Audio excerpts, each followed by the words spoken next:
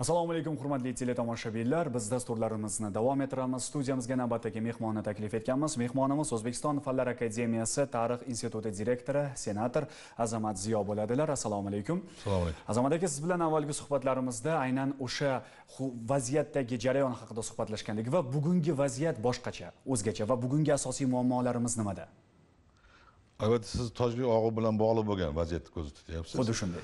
o'zi xoh bu masala bo'ladimi xoh ikki oylik burungi vaziyat bo'ladimi? Inson hayotidagi asosiy muammo insonni o'zi.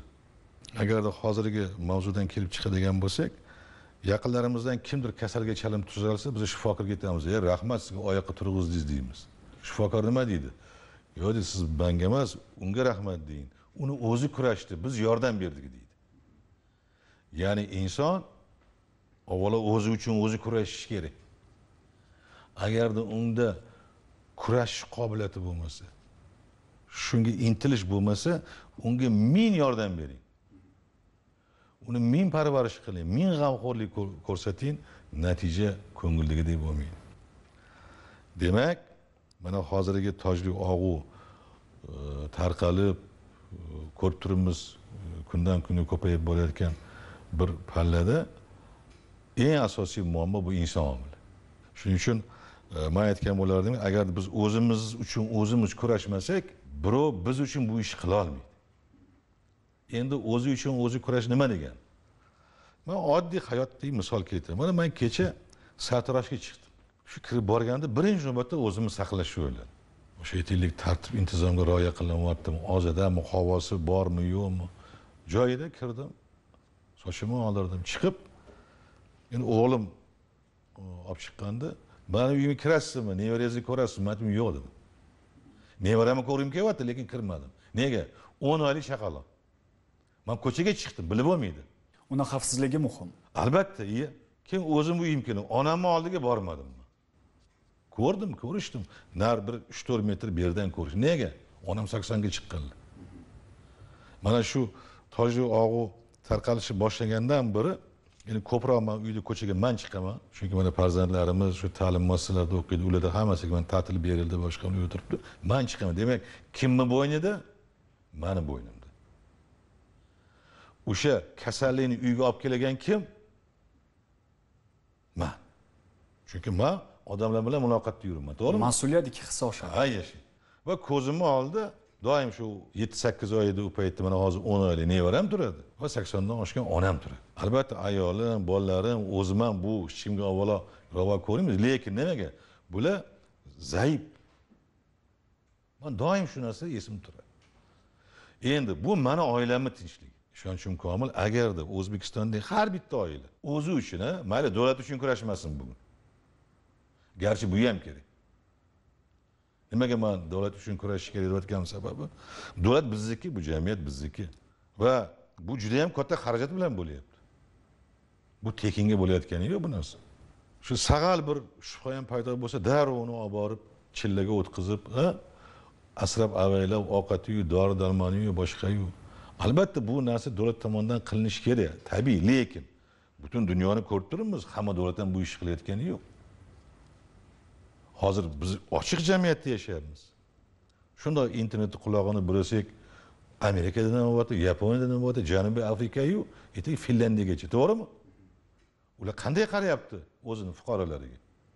Juda ko'pchiligi uyda o'tkazyapti oyoqda o'tkazyapti deymizu kasallikni noto'g'rimi to'g'ri. Mana shunday bir sharoit bo'lgan ekan shunday bir g'amxo'rlik bo'layotgan ekan mana shuni tushunib qarz ikki qo'ldan chiqadi davlat o'zi tomonidan qilinishi kerak bo'lgan ish. Hammasini qilyapti. Endi fuqaro ham shunga intilishi kerak.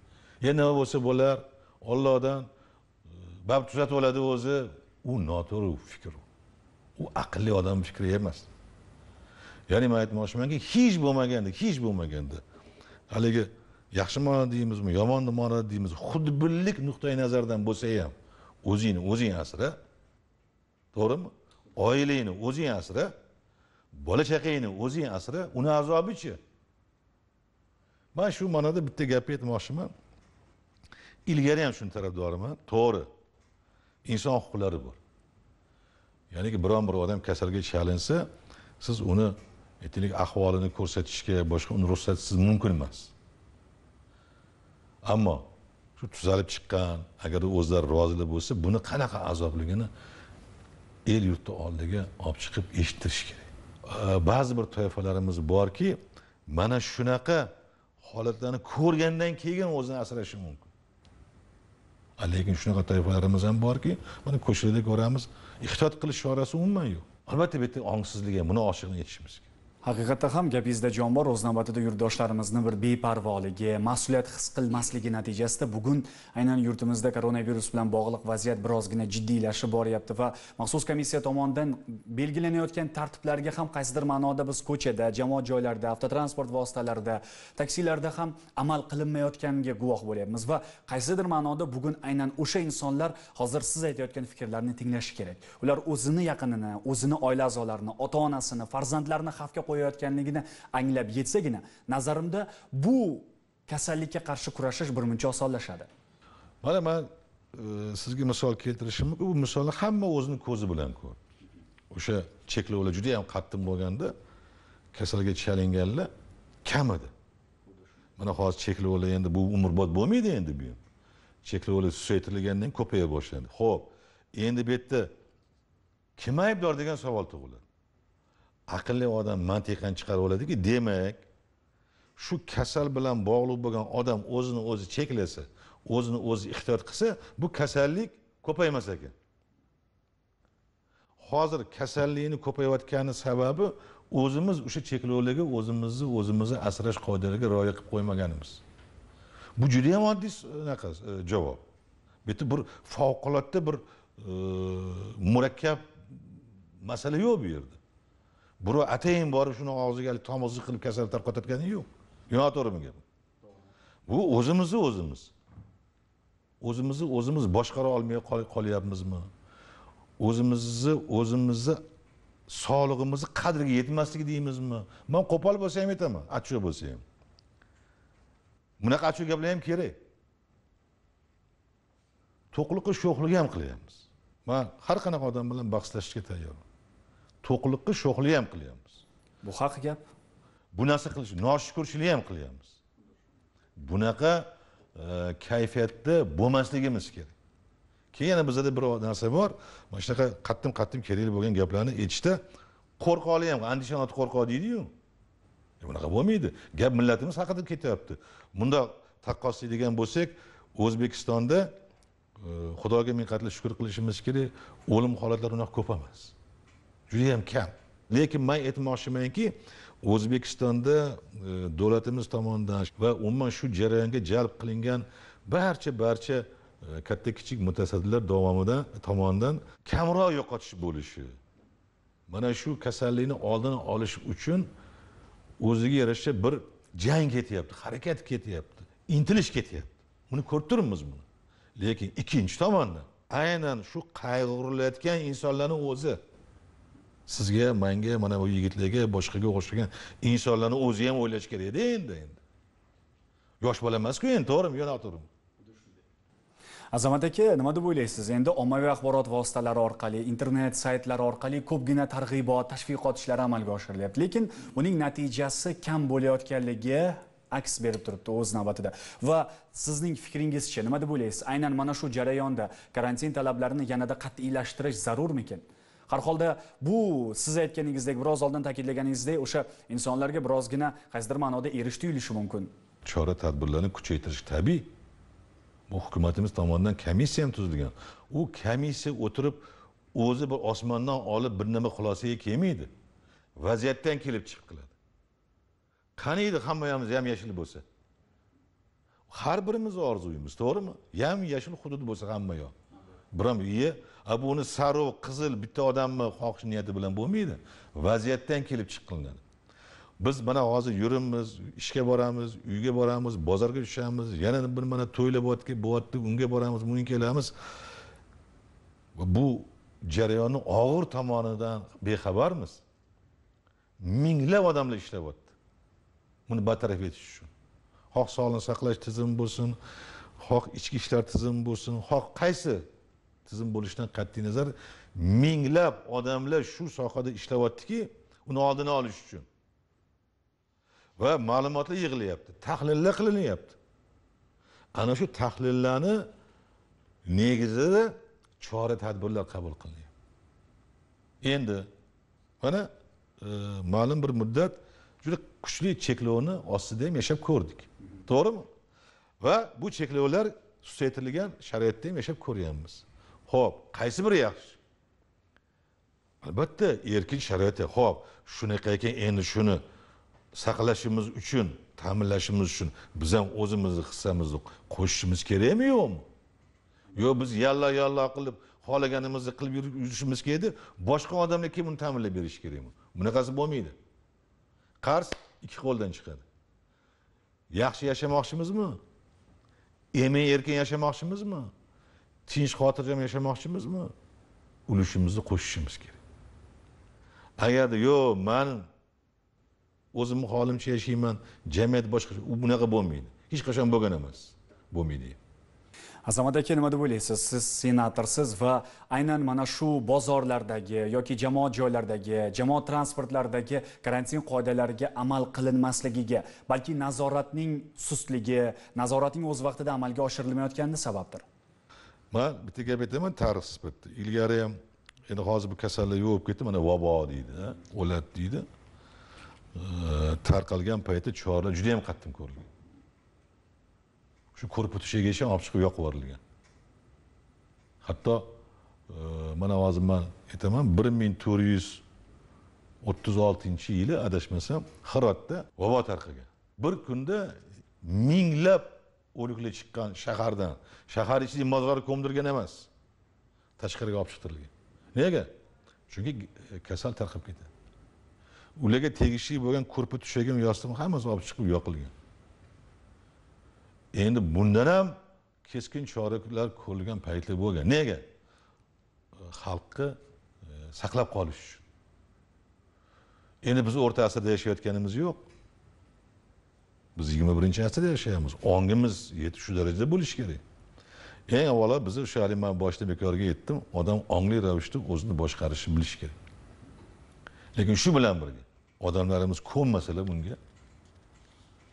Oqilona ravishda cheklovlarni yoki aytaylik haligi siz aytgandek qonun qoidaga rioya qilmayotganlarni nisbatan tegishli choralar ko'rishni ham kuchaytirishni o'ylab ko'rishimiz kerak. Nimaga deng mana siz man rioya qilyapman. Lekin kimdir rioya qilmasligi oqibatida man ertaga aziyat chekishim mumkin. Siz aziyat chekishingiz mumkin. Unda bor huquq manda yo'qmi? Yo sizda yo'qmi? To'g'rimi? To'g'ri. Nima uchun qonun qoidaga rioya qilmayotgan insonni kasriga boshqalar javob berishi qonun qoidaga rioya qilayotgan odamlar qolishi kerak? Qani mantiq qani mantiq demak bugun bitta bizdan emas butun dunyoni boshiga. Mana shu tojli og'u muammosi tushgan ekan. Jumladan o'zbek jamiyatida ham bor ekan. Demak bu bizni jamiyatimizdagi ushbu e, muammoni bartaraf etishda jamiyat o'zini hissasini qo'shishi kerak. Bu hammamizni ishimiz. Endi birovni qo'lidan ko'proq keladi birovnikidan kamroq keladi. Birovni aqli ko'proq yetadi birovniki kamroq yetadi. To'g'rimi? Shundan ekan kamroq yetadigani ko'proq yetadiganini aytganini qilish kerak. Yo noto'g'rimi yoki bo'lmasa o'sha ko'proq yetadigan kamroq yetadiganni yetaklash kerak. Albatta u ham kerak. Bu ko'pchilik bilan mana bahslashib keyin biz mana shu mavzuda ko'proq gaplashishimiz kerak. Bu jarayonga hammamiz ommaviy axborot vositalari ham olimlar ham mahalla bo'ladimi kasb kori makonidan qat'iy nazar ongli yondashishimiz kerak agarda ongli yondashsak yengamiz. Ongsiz bo'lsak u bizni yengadi. Hozir o'sha e, tojli og'u bilan e, bizni aql zakovatimiz o'rtasida kurash ketyapti. U poylab yuribdi. Poylab yuribdi. Beparvo ongsiz e'tiborsiz borib shart ushlayapti domiga tortyapti endi u o'zi bilmagan holda hali kasalni bilmaydiyu ommani orasiga kiryapti oilasiga kiryapti ota onasi bilan borib ko'rishyapti farzandlarini quchog'iga olyapti nevarasini ko'taryapti va hokazo. Yoki oshna og'aynis bilan ko'rishyapti o'tiribdi antda uch to'rt kishi bo'lib. U o'zi bilmagan holda ularni orasida kasal tarqatyapti. Siz bir ko'z oldingizga keltiring umuman e, yurtdoshlarimiz ham ko'z oldilariga keltirsinlar. Mana shu kasallik tarqalishiga sababchi bo'lib qolishi ko'z oldilariga keltirsinlar. Xudo ko'rsatmasin o'sha u kishi sababchi bo'lgan muhitda biron bitta o'lishini ko'z oldiga keltirsinlar. Butun umrga vijdon azobida qolmaymanlarmi qolishi tabiiy butun umrga. Shunga man sababchi bo'luvdim albatta bugun jamiyatimizda bo'layotgan har bir jarayonga fuqarolarimiz befarq bo'lmasalar nazarimda biz ushbu kasallikni yenga olamiz va belgilangan tartib intizomlarga qoidalarga amal qilish nafaqat ularni o'zini sog'ligi uchun balki yaqinlari oilasi millatni salomatligi uchun ham muhim sanaladi. Va bu jarayonda nazarimda har bir yurtdoshimiz siz aytganingizdek qo'lni qo'lga berib jipslashgan holatda harakat qilishi birgalashib ushbu kasallikni yengishimiz zarurdir. Agarda oramizdan kimdir kimdir bu vaziyatni buzmoqchi bo'lsa unda biz bu kasallikni yengishga qiynalishimiz mumkin. Man sizga bitta gap aytib qo'yay bu kasalni yengishimiz aniq. Bundan ham og'ir kasallik yengilgan. Lekin biz bu jarayondan kuchli bo'lib chiqishimiz kerak edi. Ya'ni hayotga yanada boshqacharoq qarab hayotni qadriga yetib yurtni qadriga yetib. To'g'rimi? Bir ko'rinmas og'u shuncha hammamizni bezovta qilib qo'yadi. Noto'g'ri bundoq qarab erkinlikni qadriga yetish. Bu cheklovlar qayerda mana erkinligimiz cheklanyapti tabiiy ravishda. Bitta bizdan butun dunyoda. Demak erkinlikni ham qadriga yetishimiz kerak ekan. Umuman hayotni qadriga yetish hayotni qadriga yetishimiz kerak ekan. Bu jarayon o'tadi. Mayli bir necha oy ichida bu tojli og'uni kushandasi topilishiga mani ishonchim komil. Olimlar buni topadi. Ko'rmaganday bo'lib ketamiz. Lekin mana shu jarayondan tegishli xulosa chiqarmasak tegishli xulosa chiqarmasak unda keyingi E, davrlarda bo'lgan boshqacha e, muammoga duch kelganimizda unda biz o'zimizni kuchsizligimizni ko'rsatib qo'yamiz. Shuning uchun har bitta o'sha kundan har bitta aytaylik e, bosqichdan biz o'zimizni xulosamizni qilishimiz kerak va oqillik yo'lidan yurishimiz kerak. Mani asosiy tilagim mana yurtdoshlarimizga oqillik onglilik. Mana shu yo'ldan yursak ishonchim komil hamma ishimiz yaxshi bo'ladi. Azamat aka sizga tashrif uchun minnatdorchilik bildiramiz. Hurmatli yurtdoshlar tinglaganingiz singari albatta jamiyatda bo'layotgan har bir voqeaga befarq bo'lmang va belgilangan karantin qoidalariga amal qilish sizning va yaqinlaringiz sog'ligi uchun muhim sanaladi shunday ekan koronavirus infeksiyasini yuqtirib olishdan o'zingizni va yaqinlaringizni ehtiyot qiling. O'zbekiston 24 telekanali o'z dasturlarini davom ettiradi. Ayni daqiqalardagi studiyamiz mehmoni o'zbekiston fanlar akademiyasi tarix instituti direktori senator azamat ziyo bo'ldilar. Tashrif uchun katta rahmat. Sog' bo'ling. Salomat bo'ling. Dasturlarimiz davom etadi